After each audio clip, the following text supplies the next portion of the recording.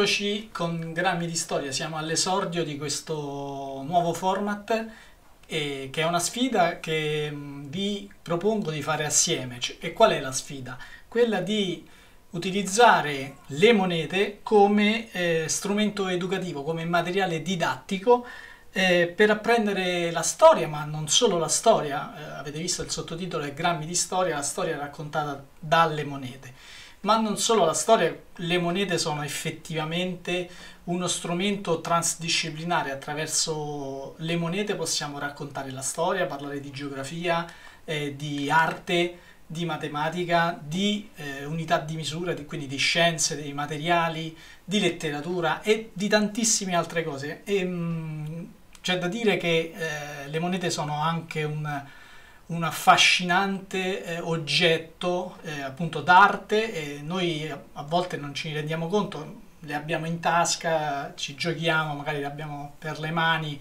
e non ci rendiamo conto che abbiamo eh, un pezzo d'arte ma anche un piccolo eh, pezzo di storia, una specie di, soprattutto se sono monete antiche non circola, che non circolano più, specie di Stargate e, in questi pochi grammi, appunto grammi di, perché grammi di storia, in questi pochi grammi di metallo eh, si, si, celano spesso una quantità di informazioni, a volte anche eh, inaspettate e anche atipiche, e, e, scopriremo che appunto le monete venivano utilizzate in passato proprio come strumento di comunicazione e di propaganda. Possiamo dire che mh, mm, le monete eh, sono un po' quello, la, quello che è oggi l'Instagram. Era, possiamo dire che le monete sono l'Instagram del, dell'antichità. Qualcuno all'epoca aveva detto eh, che erano il televisore dell'antichità, ma questo lo scopriremo diciamo, nel corso di questi video.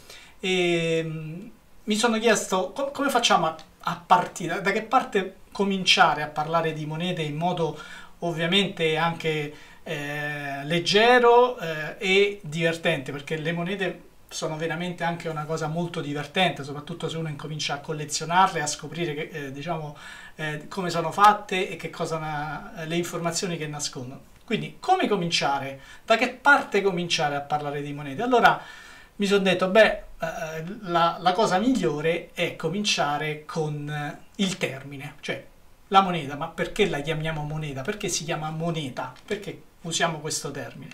E in realtà c'è, c'è una moneta che ci racconta tutta questa storia e vi preannuncio che ha a che fare con, eh, con, le, con le, oche, con i galli e, e, e, con la storia di Roma e ovviamente c'è, c'è una moneta che, che, nel frattempo vi faccio, eh, vi faccio vedere, che è questa qui, che eh, racconta in qualche maniera all'interno della sua eh, iconografia, racconta un po' questa storia che stiamo per, per, per, per conoscere adesso.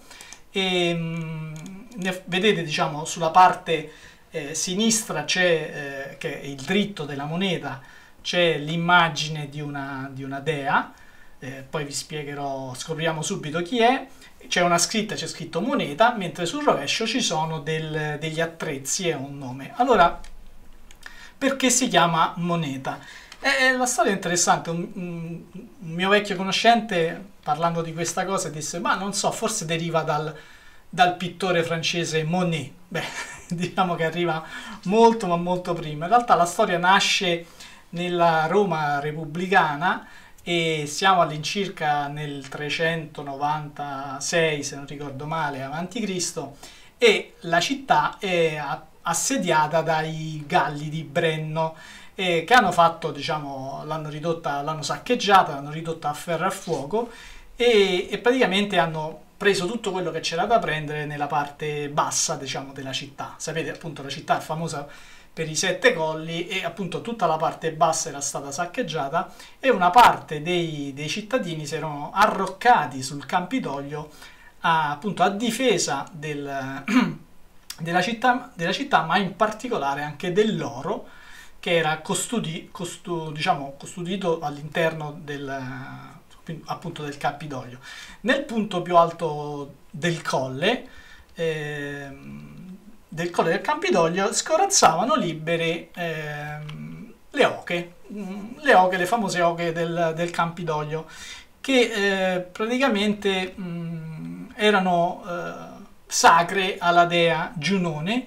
E, e, infatti tra l'altro nonostante il periodo di magra e di saccheggi erano gli unici animali che ancora non erano stati mangiati diciamo dai, dai, romani affamati perché appunto erano delle oche che erano sacre alla dea Giunone.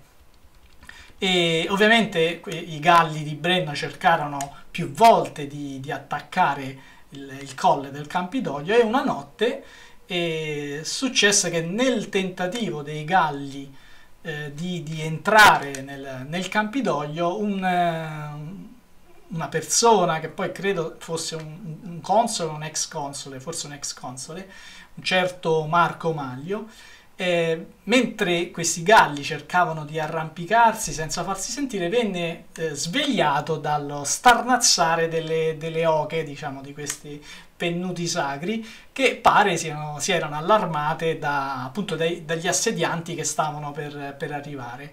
E, e, quindi Maglio si, si, svegliò e fece in tempo a dare l'allarme e a eh, far eh, e a respet- quindi poi i romani che erano lì riuscirono a respingere eh, i galli. Eh, la cosa divertente, se ci pensate, è che appunto le oche che respingono i galli in qualche modo. Quindi per i romani, allora, che succede? Che per i romani, diciamo, questa, eh, da quel momento in poi, diciamo, questa, le oche, eh, si, si, crea questa, questa, storia, questa leggenda che le oche siano state appunto destate dalla, dalla, dea, dalla dea Giunone proprio per salvare la città, quindi facendole starnazzare.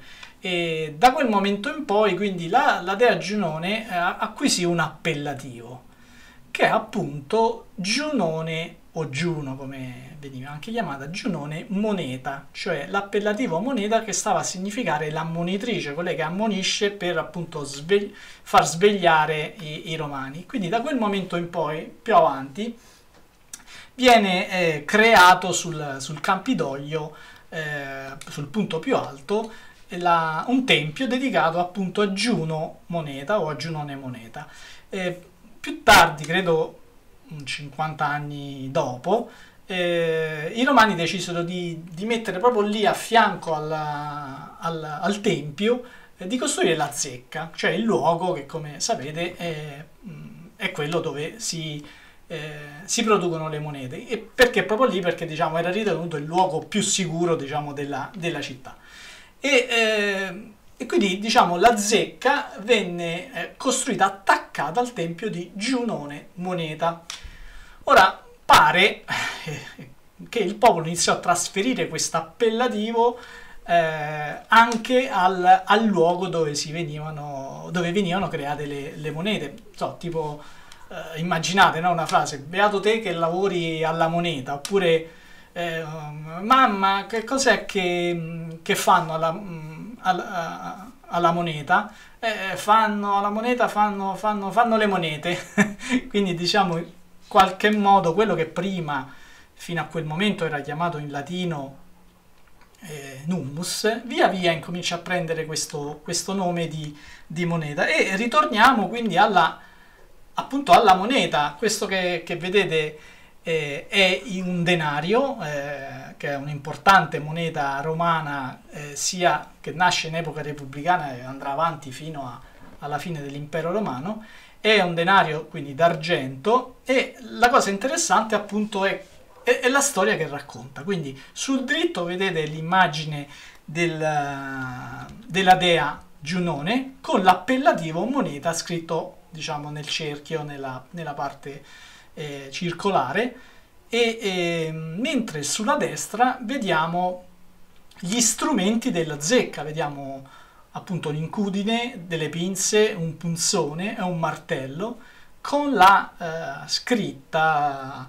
eh, Carisius che credo sia il magistrato monetale che si occupò della, appunto della, eh, della creazione della, della moneta. Questo è un denario del intorno al 46 a.C. Quindi guardando questa moneta noi eh, possiamo capire la storia del, dell'etimologia del, del nome eh, da cui deriva il nome moneta. Quindi da oggi sappiamo perché le monete si chiamano monete. E per oggi è tutto, spero di, eh, che sarete con me anche nei prossimi, nel, in questo percorso e ci vediamo alla prossima, eh, al prossimo video. Arrivederci.